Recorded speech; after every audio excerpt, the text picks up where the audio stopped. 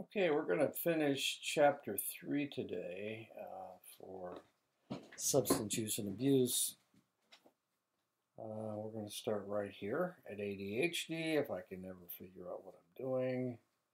Here we go. Okay. 9.4% of children 2 to 17 in the United States have been diagnosed with ADHD in their lifetime. 9.4%.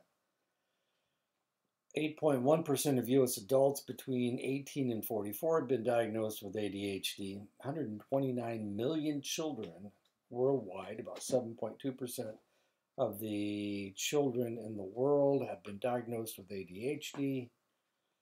In 2016, 6,100,000 uh, children have been diagnosed with ADHD, up from 4,400,000 in 2003. They liberalized the uh, definition of ADHD, uh, and now more more young females are being diagnosed with ADHD. ADHD is caused by a depletion of dopamine. Amphetamines are used to treat ADHD because they increase dopamine and block its metabolism. Uh, there are about 10 million prescriptions of Ritalin per year. That's uh, the chemical name is methylphenidate. Uh, there's about 7.7 million prescriptions prescriptions of Adderall. That's also known as D-amphetamine. Uh, 5.8 million prescriptions of Strattera, uh, Atomac, atomoxetine, and Cylert. We don't have any numbers on.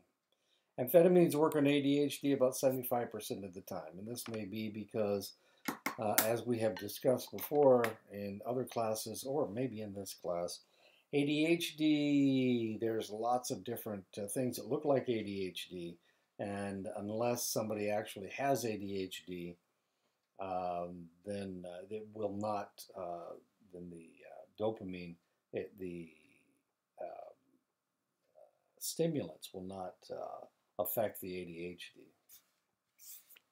or the, the symptoms. Research shows that children taking amphetamine therapy for ADHD in the long term have an increased risk of alcohol and drug abuse as adults. Half of children with ADHD have comorbid uh, oppositional defiant disorder. If left untreated, these individuals are more likely to progress to more serious problems such as stealing, vandalism, and arson. Uh, I had out uh, some uh, uh,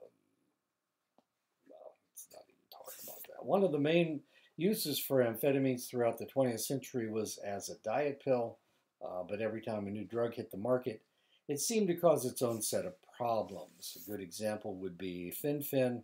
Um, the, they were two amphetamines, uh, phentermine and uh, fenfluramine. It was marketed as Fen-Phen, as I said before. Uh, given in tandem, the drugs caused heart valve damage in select women. It was taken off the market in 1999. Uh, my wife actually took this in, we were in Mississippi. Wait a minute, what year would that be? In the uh, middle 90s. So it was still on the market. She was taking it uh, to help her lose weight uh, when we were living in Mississippi. Stimulants are and have been used all over the world for centuries. Uh, khat is uh, used in the Middle East. Betel nut is used in the Far East, uh, that's Asia. Uh, yohimbe is used in Africa, and ephedra is used in the Mediterranean era, area. Khat is a mild stimulant found in the Middle East. Smuggling of this drug in the United States has become more prevalent as more and more immigrants from the area come into the United States. The key stimulant in the leaf is cathinone, which uh, evaporates if the leaf isn't used within 48 hours after harvesting. This substance is said to produce an effect between caffeine and methamphetamine. Uh, methcathinone is a synthetic version of cathinone.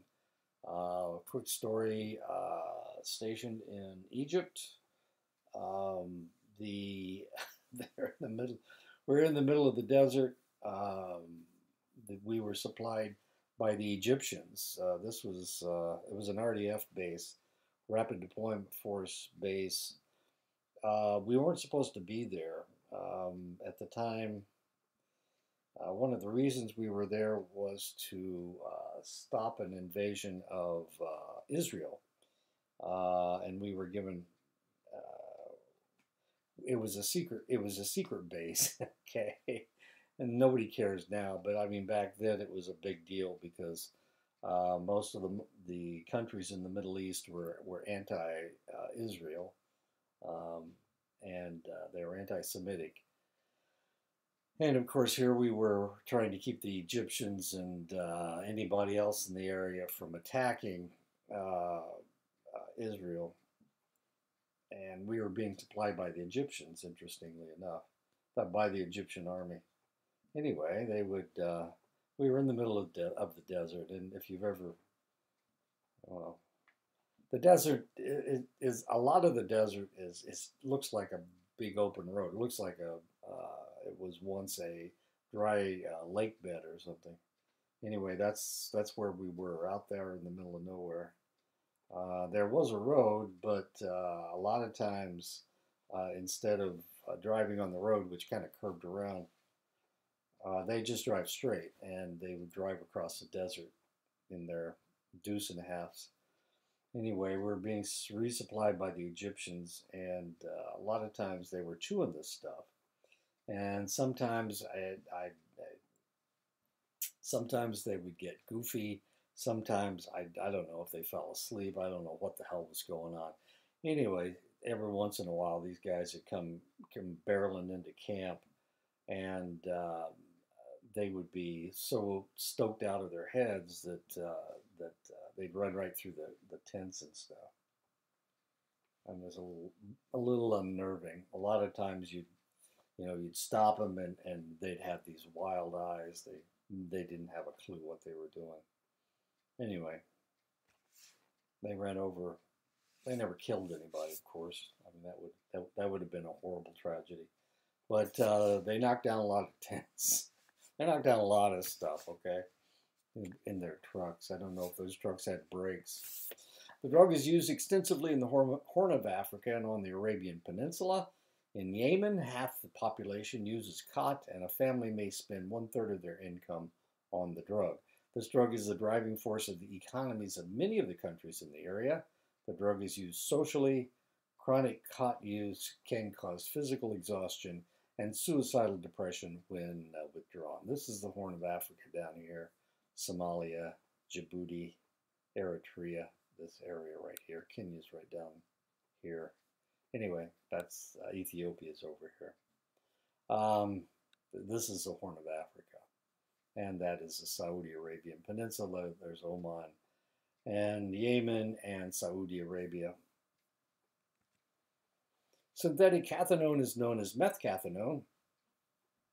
While this is not is only found sparingly in the United States, it is much more common in Europe and in fact represents 20% of the illicit drug use in the Russian Republic.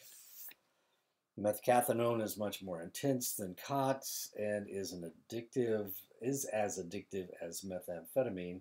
Uh, with the drug, there is more dopamine reduction and so Parkinsonism is, uh, is more common with methcathinone.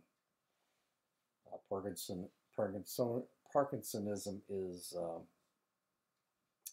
where, where you develop Parkins, Parkinsonian symptoms, uh, such as tremors and um, a depleted gait. You can't walk very well. Betel nuts uh, come from the betel nut palm and are found all over southern Asia. It is used extensively in India, Pakistan, the Arab world, Taiwan, Malaysia, the Philippines, New Guinea, Polynesia, southern China, and Africa. It was used fairly extensively in Vietnam. Uh, worldwide, 200 to 450 million people use this substance. In Taiwan, 17% of men and 1% of women use the substance. One recent controversy in Taiwan is the betel nut beauties who man betel nut kiosks while dressed provocatively to attract male customers. Uh, some authorities are demanding more modesty uh, for fear of comprising, compromising public morals. Uh, I was curious about this. I wanted to see if uh, if it was still happening in uh, Taiwan. I looked it up before uh, when I was looking over my lecture, and I discovered, by golly, there are even less dressed than they were before. so evidently, this practice is still going on. The interesting thing is, uh, I don't remember when I put this lecture together, but uh, her picture is still uh, very, very famous uh, in Taiwan. She's a betel nut beauty. The active ingredient in betel nuts is arecoline, which induces an incre increase of epinephrine and norepinephrine in the, in the central nervous system. This causes a mild euphoria, excitation, and a decrease of uh, fatigue. Uh, the juice of the nut is dark red and stains the mouth red to black, and it makes your teeth black, as attractive as that is. Uh, gives you naturally, it gives you red lips though, which is kind of kind of cool, I guess. Um, Arecoline and muscarine are fairly toxic and cause mouth and esophagus irritation that might lead to cancer in the uh, in this area. Seven percent of chronic users will develop cancer if they live that long. In India, betel nuts are mixed with uh, sweet, sweetened tobacco to make a pro product known as gutka. So gutka is betel nut and tobacco mixed together. Yohimbine is the extract from the yohimbe tree found in Africa. The tree is a member of the coffee family, and the extract is bitter and spicy and often brewed in a similar manner to coffee. The active ingredient in yohimbine is an alpha 2 adrenergic antagonist that increases the neurotransmitter norepinephrine. Yohimbine has been used for centuries as a mild aphrodisiac and sexual rejuvenator. Yohimbine's sexual side effects seem to stem from its ability to increase penile blood flow. It has been used to treat erectile dysfunction, and is, is reputed to induce sexual arousal in women. Uh, the drug does increase blood pressure and heart rate. Male enhancement products include male performance, Yohimbe power, manpower, and Aphrodyne. It is also found in Sobe Energy. Yohimbine serves as a local anesthetic. Uh, in larger doses, it may produce a mild euphoria and sometimes hallucinations. At toxic levels, it can produce paralysis of the respiratory system and death. Ephedra is a bush that grows in deserts all over the world, including the deserts of Arizona. Uh, the drug that it produces is ephedrine. Uh, this drug is a mild to moderate stimulant that is used medicinally to treat asthma, narcolepsy, allergies, and low blood pressure. Ephedrine is also known as Marwith and Ma Huang and has been used medicinally by the Chinese for 5,000 years. Ephedrine was first synthesized in 1885 and for decades was the only effective treatment for asthma. Ephedrine's effects are less severe than amphetamines, though a toxic level is more likely to lead to psychosis. Ephedrine and pseudoephedrine are the active ingredients in many cold products. They also make up the molecule that is converted to make methamphetamines and methcathinone. The substance has also been implicated in sports doping scandals and so is banned by the NFL and illegal in Ohio. The sale of cold remedies is now controlled to prevent the hoarding of enough of the substance to convert into the more destructive drug. Caffeine is the most popular stimulant in the world. It's the most popular mood-altering drug in the world. It is the most popular habit-forming drug in the world. 85% of the people in the United States consume substantial amounts of caffeine every day. Caffeine is naturally found in coffee, tea, chocolate. Uh, caffeine is put in many products to give uh, us energy. It's uh, found in soda pop, most energy drinks, and over the counter energy supplements like 5 Hour Energy. I think that's what it's called. Water is the most widely consumed beverage in the world. Tea is the second most widely consumed beverage. Tea has been consumed in China for 4,700 years. Tea has uh, become ritualized in many cultures like Japan and China. The English discovered tea from the Portuguese traders, and the country became obsessed with it to the extent that they fought two wars to get China to trade with them. To this day, four o'clock is tea time in England when everyone stops and takes a spot of tea. That's what the Brits do. They at four o'clock. They also eat biscuits, which are cookies. Uh, it's a it's it's a time for uh, for eating biscuits. Coffee was first cultivated in Ethiopia in 650 AD, and from there it slowly spread into Europe. Though along the way, many cultures banned it as an intoxicant. In the United States, each coffee drinker consumes an average of 20 pounds of coffee a year. Eight ounces of brewed coffee will deliver about 135 milligrams of caffeine. That's a cup of coffee. Eight ounces of instant coffee will deliver about 95 milligrams of caffeine. Eight ounces of uh, decaf coffee will still deliver about seven milligrams of caffeine.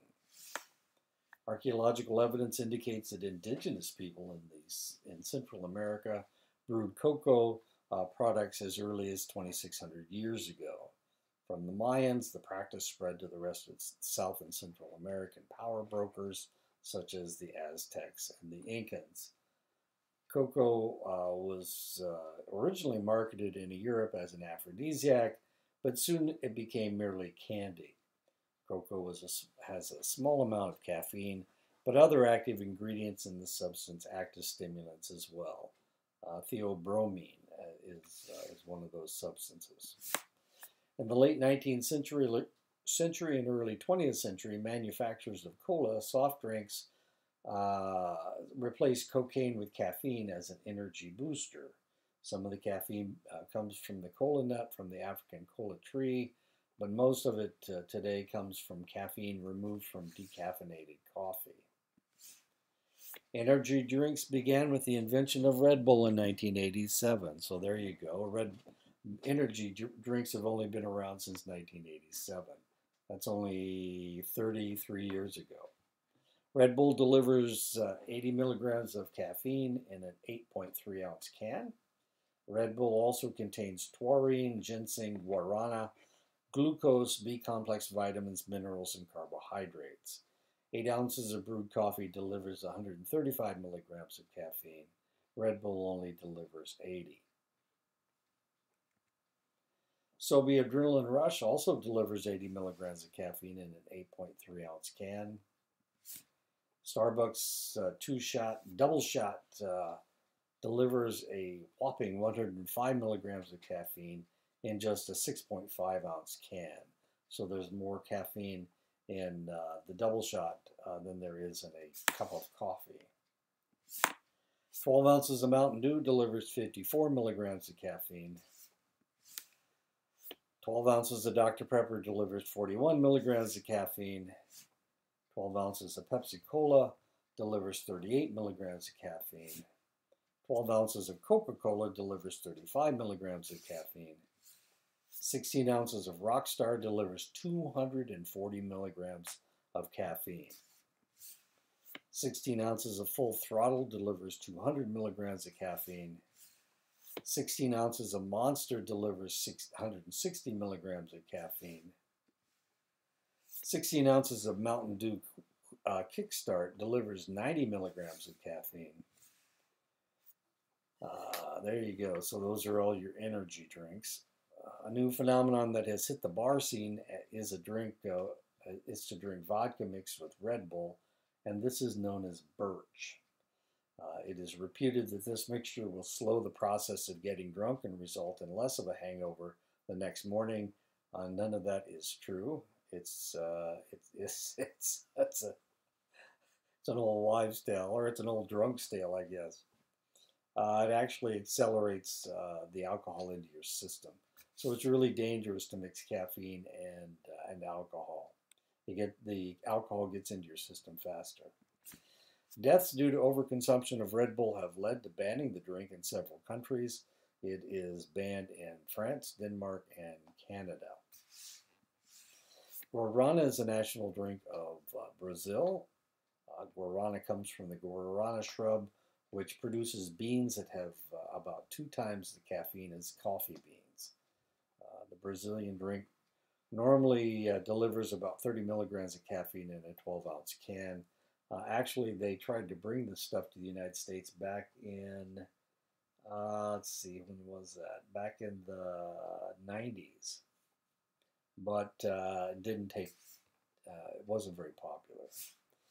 Mate is a plant uh, whose leaves are brewed like tea. Mate is the national drink of Argentina and delivers between 35 and 130 milligrams of caffeine per 8 ounce serving. 3% of the world's caffeine comes from mate. Mate it's really kind of interesting. Pope uh, Francis uh, is from Argentina and uh, he drinks this stuff, mate. Caffeine is a very bitter chemical. It's an alkaloid, and that's why it's so bitter uh, in a class of chemicals called xanthines. It is found in more than 60 plants around the world.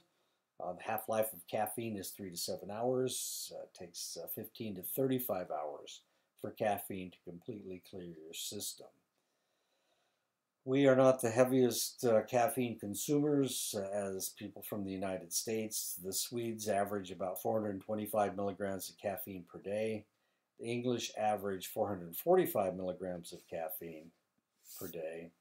Americans only consume an average of 211 milligrams of caffeine a day.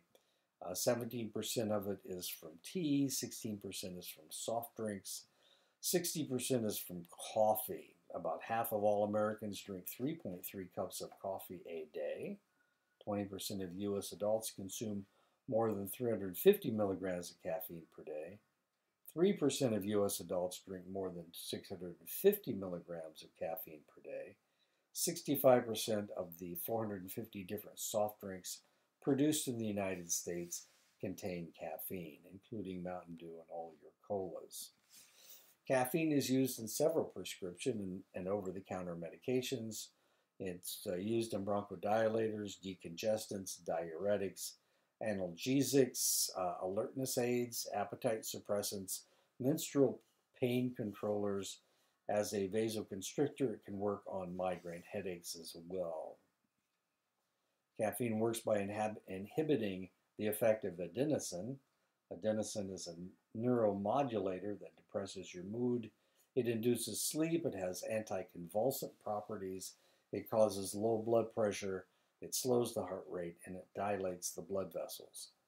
Caffeine's effect is controlled by heredity. So whether you are sensitive to caffeine or not sensitive to caffeine, it all has to do with your genes.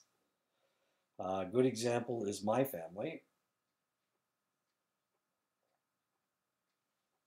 Sorry. Uh, my dad used to drink pot after pot of coffee. It didn't affect him at all. I told you this before. Um, I'm, I'm not sensitive to caffeine. My son's not sensitive to caffeine. However, my mother was very sensitive to caffeine. It would cause her heart to palpate. I have a brother who uh, also, I, I, I, think I told you this story. One time he was driving to Norfolk, Virginia from Muncie, Indiana, and uh, he was falling asleep, so he decided he would drink coffee or a Mountain Dew. He decided he would drink a Mountain Dew. Uh, he started hallucinating while he was drinking the Mountain Dew. He ended up in Maine. Somebody had to, I, my dad had to go up and get him because uh, he was uh, freaking out, literally freaking out. So he was very, he's very sensitive to caffeine. Of course, he told me at the time he, he called me up on the phone and said, "Don't drink, don't drink Mountain Dew. It's that stuff's poison. Uh, it'll make you go crazy." And of course, at the time I was drinking five or six cans of this stuff every day, so it didn't affect me nearly the way it affected him. So it has to do with heredity, and I have it on both sides of my family uh, the good and the bad and the ugly, I guess. To those sensitive to caffeine, 350 milligrams per day may cause anxiety, insomnia, gastric irritation, high blood pressure, nervousness, and flushed face. One study where subjects were given 500 milligrams of caffeine showed a 32% elevation of the stress hormones for an extended period of time. Um, I, I was looking this up the other day. Actually, somebody wrote a, a paper on it or a uh, article critique on it. Uh, they've uh, what they determined was that about 10% of the population isn't sensitive to caffeine at all. Now, uh, obviously, I'm I'm one of those people, and so is my son, and so was my father. So we'll see if my grandson is. Caffeine is lethal at 10 grams. That's about 100 cups of coffee or 185 cans of Mountain Dew. Uh, those are 12 ounce cans, not the big 16 ounce cans. Uh, in susceptible people, too much caffeine can trigger nervousness.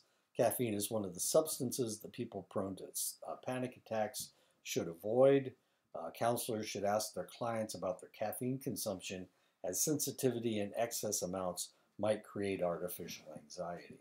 Uh, drinking coffee is uh, one of the, the things that society tells us we should do. I do not drink coffee. I don't like the taste of it.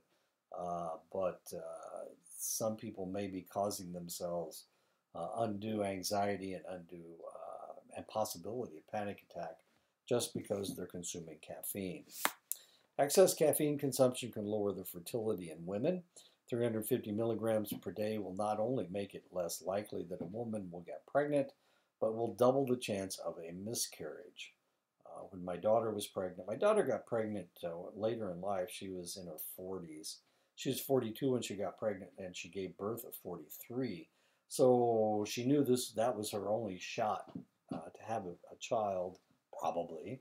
And so she was very, very careful, and she didn't consume any caffeine. And of course, the two of us, uh, she was she teaches biology and I worked in medicine for 30 years, and I'm I'm an old lab tech. So both of us were very much aware of all of the uh, milestones that she had to go through. Uh, we both knew that she needed to make it make it to 22 weeks uh, to make sure she had a viable viable fetus.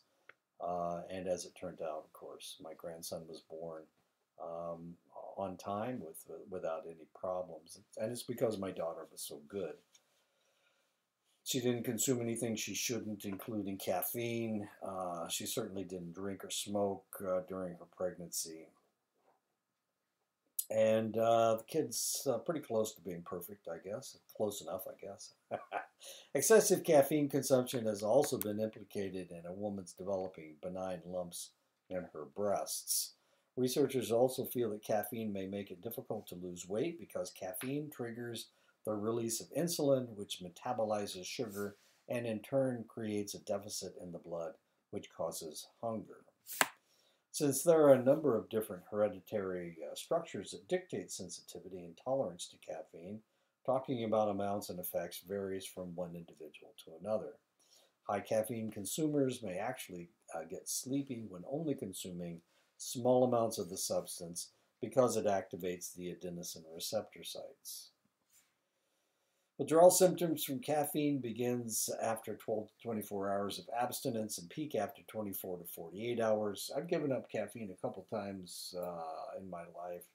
Uh, I didn't have any withdrawal symptoms, uh, so that's why I'm assuming I'm not I'm not uh, uh, susceptible to it. I'm it just doesn't do anything to me. The symptoms can last for two two days to a week throbbing headaches, sleepiness, uh, fatigue, lethargy, uh, depression, decreased alertness, sleep problems, irritability, flu like symptoms, nausea, vomiting, muscle pains, or stiffness. Okay, now we're going to talk about tobacco. Nicotine comes from the leaves of the tobacco plant. The tobacco plant is a member of the nightshade family, which also includes tomatoes, belladonna, henbane, and petunias. It also includes uh, is that stuff? Skunkweed. as curious as that is. As a matter of fact, skunkweed and tobacco look an awful lot alike. Of course, skunkweed smells like skunks. You probably have never seen it. Uh, it grows in swampy areas in the, in the Midwest. We, we used to have skunkweed on our property, and we had a, a swampy area back in our woods, and it grew back there. In the United States, uh, 90% of the tobacco is delivered to its users as cigarettes. In India, 85% of all men use tobacco in the form of chewing tobacco. So they don't smoke cigarettes over there, they chew tobacco. Tobacco came to the old world from the, the Americas, and it, it originally was smoked in pipes. In the 18th century, people began chewing the leaves and snorting the powder into their noses as snuff.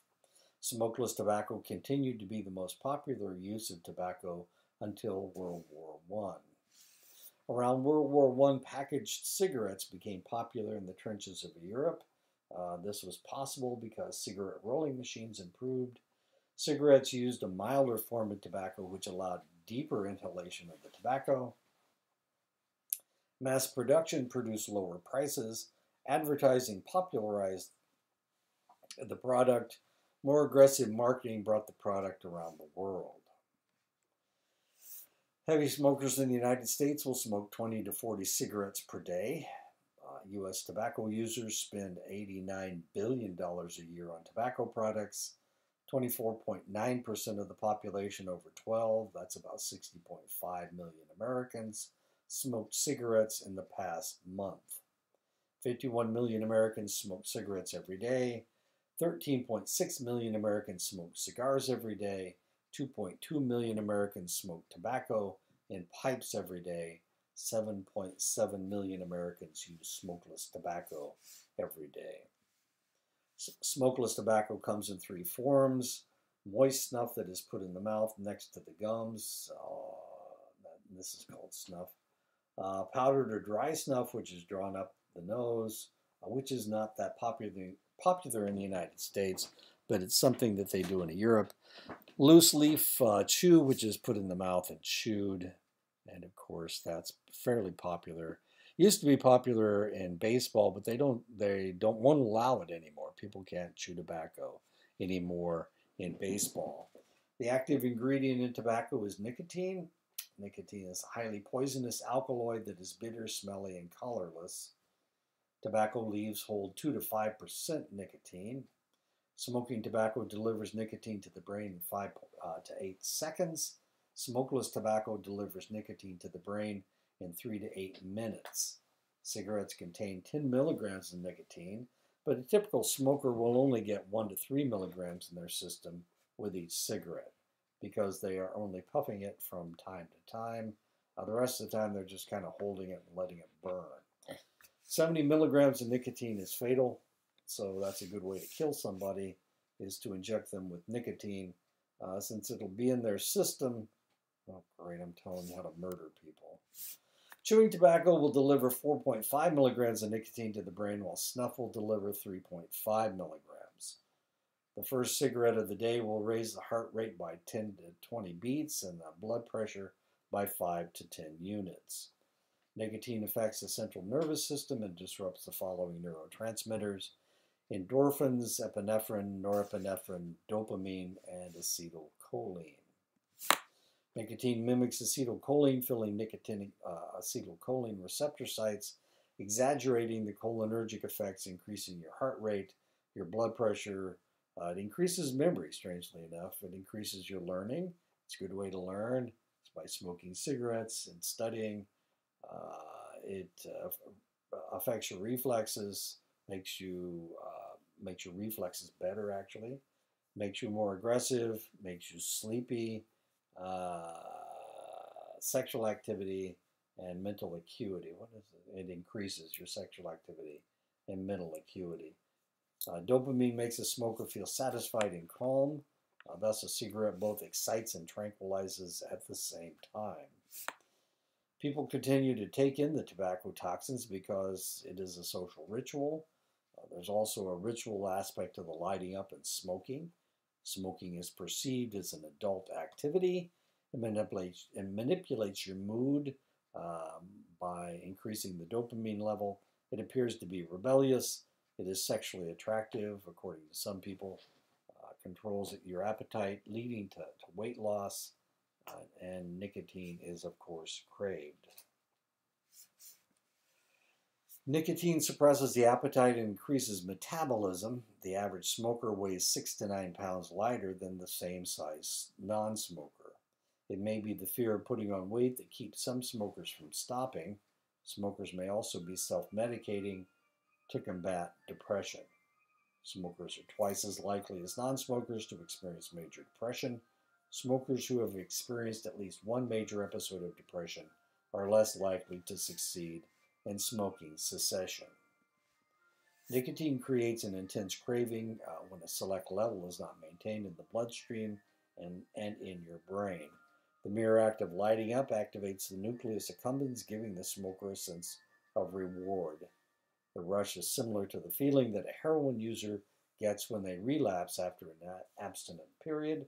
Uh, this, use to uh, this use to escape withdrawal symptoms is called negative drug reinforcement.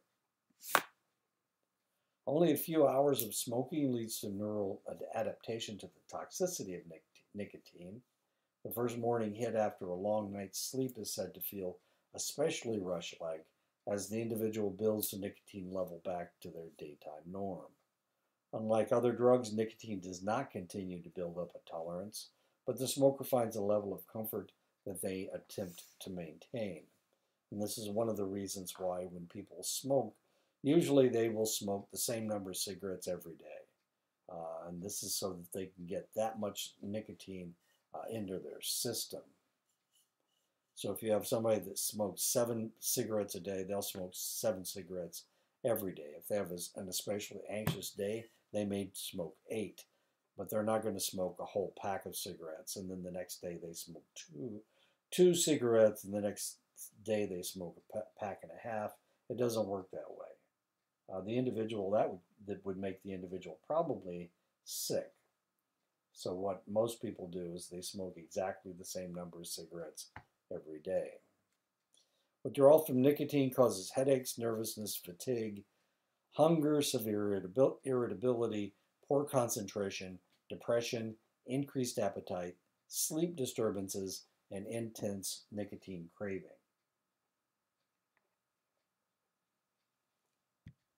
Sorry, I was getting a drink.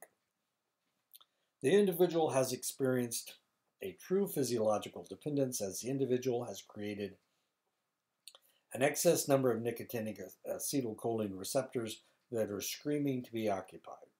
Without the nicotine to occupy these sites, the result is irritability and discontent. The smoker needs the tobacco to feel normal.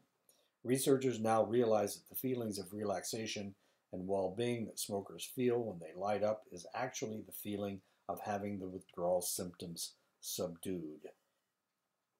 So it isn't it isn't the tobacco that makes you feel good, it is the fact that your withdrawal symptoms are going away. That's why you smoke so much tobacco.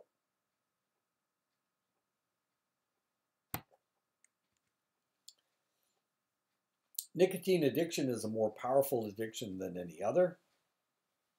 While 23 people, million people have tried cocaine, only 600,000 people are weekly users and a rare few on a daily basis. 72 million people have tried marijuana, but only 6.8 million use on a weekly basis and only a fraction on a daily basis. 198 million people have tried alcohol, but only 48 million use it weekly and only 20 million on a daily basis.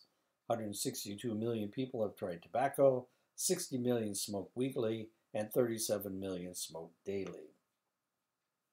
Nearly one quarter of the people who try tobacco continue to use the drug daily as compared to the fractions with other drugs and 10% of the people using alcohol.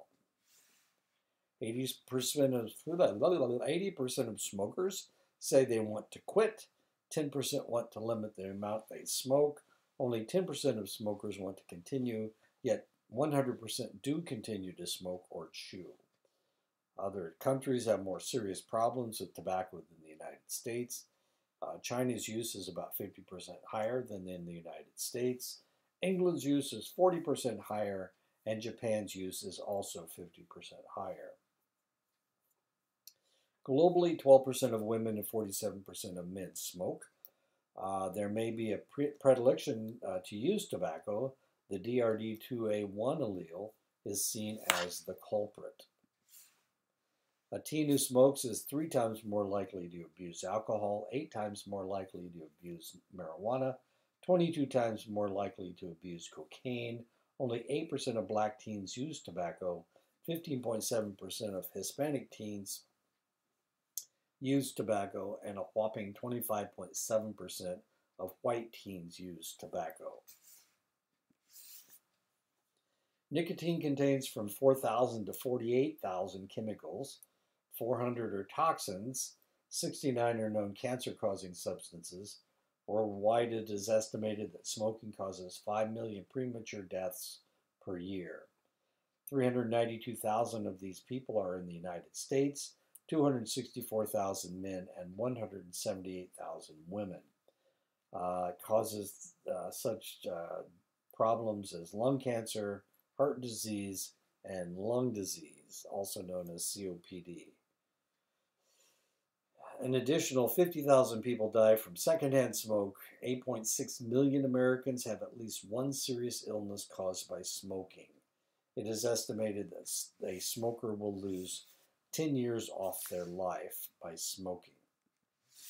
Smoking accelerates the process of atherosclerosis by increasing low density fats increasing blood coagulability, uh, triggering cardiac arrhythmias, reducing microrespiratory function by introducing carbon monoxide into the bloodstream. The uh, carbon monoxide is 230 times, uh, uh, has a 230 times uh, stronger affinity for hemoglobin than uh, O2. Carbon monoxide, of course, is one one atom of uh, of oxygen, whereas uh, oxygen is is two two atoms. Because of that, carbon monoxide has a stronger affinity for hemoglobin. Therefore, if you take it into your body, then it uh, will attach itself to the hemoglobin. And once uh, hemoglobin has been um, tainted with carbon monoxide, it, you can't use it for O2. It does not work. It will it will forever. If it's uh, blood, uh, red blood cells usually last for about 200 days in your system. Uh, if you uh, taint it with carbon monoxide, uh, then it will, for 200 days, you will have a useless uh, red blood cells cell circulating through your system because the affinity is so strong for carbon monoxide. It's also a vasoconstrictor. Uh, one third of all uh, smoking deaths are due to cardiovascular disease. uh, 35,000 of these are from secondhand smoke. Bronchopulmonary disease are far more prevalent among smokers than non-smokers. Uh, that includes emphysema, chronic bronchitis, and COPD, chronic obstructive pulmonary disease. Children who live with smokers suffer from more asthma, more colds, more bronchitis, 80 to 90% of all COPD deaths are due to smoking. Men who smoke are 22 times more likely to develop lung cancer than men who don't. Women who smoke are 12 times more likely to develop lung cancer than women who don't. 85% of men and 75% of women with lung, uh, with lung cancer smoke. Equality, women comprised only 26% of lung cancer deaths in 1979. Uh, in 2002, they had increased to 42.8% of the deaths. That's a joke, but that's not very funny. About 15% of mothers smoke during pregnancy. Nicotine and the byproduct carbon monoxide change some of the positive properties in the blood. Carbon monoxide blocks oxygen transport, as I said before. It has a greater affinity for hemoglobin and once a red cell is is tainted, uh, it uh, can will never transport oxygen. Nicotine makes uh, platelets more sticky, increasing the possibility of a, a, clot forming. Babies born to smokers have lower birth weights. They have a higher incidence of uh, SIDS. Uh, women who smoke during pregnancy are twice as likely to miscarry and have, have spontaneous abortions as non-smokers. Children whose mothers smoked during pregnancy have a four times greater chance of having ADHD. Uh, they also have a greater affinity for possibility of developing conduct disorder, drug dependence, asthma, chronic bronchitis, and chronic respiratory symptoms. Smokeless tobacco uh, can be as addicting as smoking because tobacco and smokeless tobacco forms uh, contains more nicotine than smoked tobacco. People use more smokeless tobacco when they use. Smokeless tobacco has a higher pH, allowing it to pass into the capillaries more readily. One dip of smokeless tobacco delivers the same amount of nicotine as three to four cigarettes. At least the dipper is less likely to, to get lung cancer. However, the gums are inflamed from use, causing more dental problems. There's a higher risk of oral cancer, pharyngeal cancer, esophageal cancer, cheek cancer, and gum cancer. Famous people that have died of lung cancer. Uh, a famous singer in the 1950s was Nat King Cole. Uh, Cole was one of the first African American uh, TV stars. Uh, he was a heavy smoker. He died of lung cancer at 45. Leading man of the 60s and 70s, Steve McQueen starred in such movies as The Great Escape and The Sand Pebbles. He was a heavy smoker all his life. McQueen died of lung cancer at age 50. One of the blonde bombshells of the 40s and 50s, uh, Gable was a famous pinup for World War II soldiers. They liked her sexy legs, as you can see. She has sexy legs. Uh, smoker to keep her figure. Gable died, uh, Grable, I'm sorry, Betty Grable. Uh, Grable uh, died of lung cancer at age 56. Humphrey Bogart, he was known for his raspy voice and tough guy image. Bogart starred in films in the 40s and 50s in such films as Casablanca and The Maltese Falcon. Uh, his heavy smoking caught up with him in 1956 when he died of lung cancer at age 57. Known as the youngest Beatle, uh, George Harrison was the first to die naturally at age 58 from lung cancer. Uh, John Lennon had been murdered in 1980. Harrison was a smoker and toker most of his life, uh, a lot of cigarettes and, and as much marijuana as he could get his hands on. Benefits of quitting using tobacco 20 minutes after quitting, blood pressure and pulse rate drop, and the feet and hands warm to normal temperatures.